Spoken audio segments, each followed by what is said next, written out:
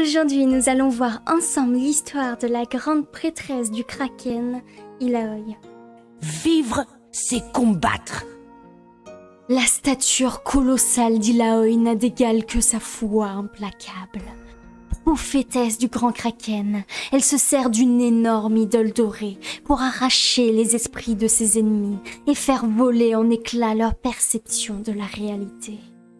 Ceux qui défient l'apôtre de la vérité de Nagakaburos découvrent bien vite qu'Ilaoi ne combat jamais seul, car le dieu des îles aux serpents lui prête main forte. Tous ceux qui rencontrent Ilaoi sont frappés par sa présence. Cette femme qui rayonne d'une aura intense est une prêtresse qui profite pleinement de son existence. Elle s'empare de ce qu'elle veut, détruit ce qu'elle abhorre et se délecte de tout ce qu'elle aime. Cependant, pour bien saisir le caractère d'Ilaoi, il faut se pencher sur la religion à laquelle elle a voué sa vie. Nagakaburos, la divinité de son culte, est généralement représentée sous la forme d'une colossale tête de serpent, entourée d'une spirale de tentacules en mouvement, sans début et sans fin également connu sous le nom de Mère Serpent, Grand Kraken ou encore Grande Barbue. Nagakaburo, c'est le dieu des îles aux serpents, qui commande à la vie, aux tempêtes marines et au mouvement. La traduction littérale de son nom signifie le monstre infini qui règne sur la mer et les cieux. La religion d'Ilaoi est fondée sur trois principes de foi. Chaque esprit est né pour servir l'univers l'univers a implanté la capacité de désir dans chaque être vivant. Et l'univers n'avance vers sa destinée que lorsque les créatures vivantes suivent leurs désirs. Les prêtresses de rang inférieur sont chargées d'entretenir les temples, d'invoquer les serpents sacrés et de transmettre au peuple les enseignements de Nagakaburos. En tant qu'apôtre de la vérité, le rôle d'Ilaoi est de servir son Dieu directement en libérant le flux de l'univers. À cette fin, on lui a confié deux responsabilités sacrées. Le premier devoir d'un apôtre de la vérité est d'être le fer de lance de la croisade contre les morts vivants. Puisqu'ils sont exclus du flux naturel de l'univers, les morts vivants sont considérés comme une abomination aux yeux de Nagakaboros.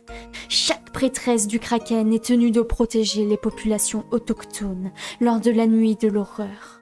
Mais un apôtre de la vérité doit combattre directement, corps et âme, pour repousser la brume noire.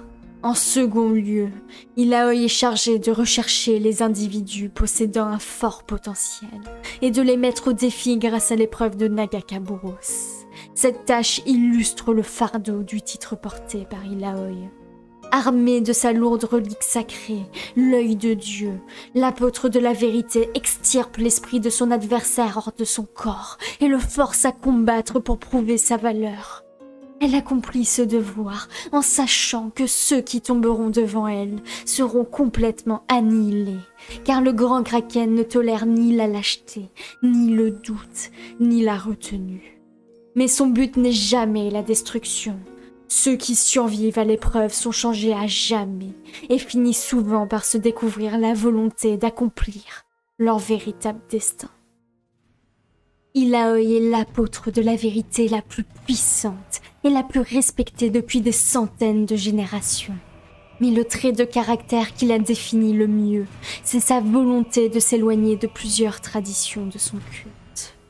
Lorsqu'elle a terminé son entraînement d'apôtre de la vérité et atteint le sommet de sa puissance, Ilaoi a quitté les temples d'or de Bourou pour se plonger dans l'atmosphère sordide de la ville voisine. Bilgewater. La cité pirate est le seul lieu des îles aux serpents où les étrangers sont tolérés. Et le peuple d'Ilaoi considère cet endroit comme un bouge immonde. Les précédents apôtres de la vérité ont tous ignoré cette vie. Et les étrangers qui débarquaient dans cette cité n'étaient guère mieux que des intouchables à leurs yeux. Ilaoi a rompu avec cette tradition lorsqu'elle a choisi de protéger les habitants de Bilgewater de la nuit de l'horreur. Elle est même allée plus loin, en décidant que certains des résidents possédaient une âme digne de passer la grande épreuve. Malgré cette vision neuve, seule une poignée de temples a été construite dans la ville. Et parmi les pays languis, un terme de son peuple pour désigner les habitants qui descendent des continentaux. Seuls quelques rares élus ont été admis dans ces lieux de culte. Néanmoins, c'est grâce à Ilaoi que la connaissance de la mère serpent s'est répandue dans Bilgewater, et c'est son esprit indomptable qui a permis à sa religion de s'implanter dans la cité pirate.